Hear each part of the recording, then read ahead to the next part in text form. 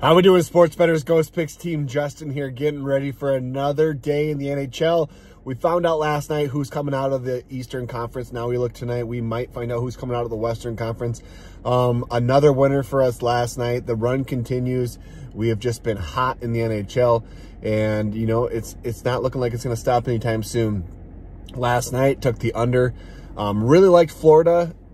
It was kind of a line where I was like, do I take him in regulation? Do I you know, it was it was too much for money line. I was like, this a lot of these games have gone to overtime. And I was like, but I do, uh, they're just, both these goalies are just locked in right now. So I knew there was a way that we had to take that. So end up taking the under five and a half, rocking chair winner.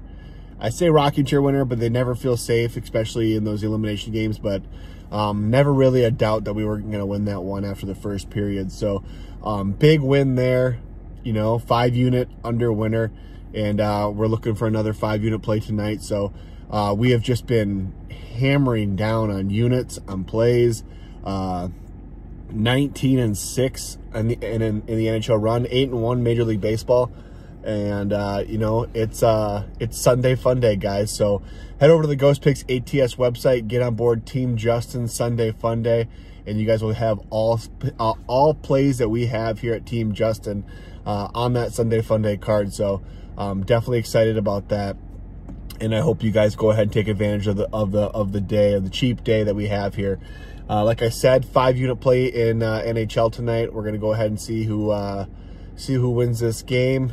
Maybe an over and under as well. We might do two plays in the NHL, uh, but we also have some Major League Baseball action as well, along with our free play, which is coming from the MLB. So uh, tonight we have the, not tonight, it's today, it's an early game, so the sooner you get on it, the better. Uh, the Astros take on the Twins at home.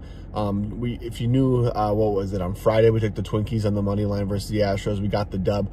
Uh, well, tonight we're, we're going to go ahead and flip-flop sides. We're taking the Astros on the money line versus the Twins. Um, Twins are getting to the back end of their bullpen here, uh, and I feel like Houston has a little too much firepower for them. I think the Twins, obviously, you know, they, they, they're probably one of the streakiest teams in Major League Baseball, but when I look at this game, I, I, I do, I like the, I like the Astros on the money line here. I think they just have the advantage in, in, in pitching today. And so we're going to go ahead and take the Astros money line. So go ahead and uh, comment that free play score. Get it correct. I'll give you guys a free day. Make sure you hop on board Team Justin Sunday Fun Day. Don't miss out on any more of our NHL run that we're on, guys. Like I said, 19 and 6. We're, we're absolutely dialed in. And uh, we're going to have ourselves another fantastic day here. So good luck. God bless. Grind on and let's go.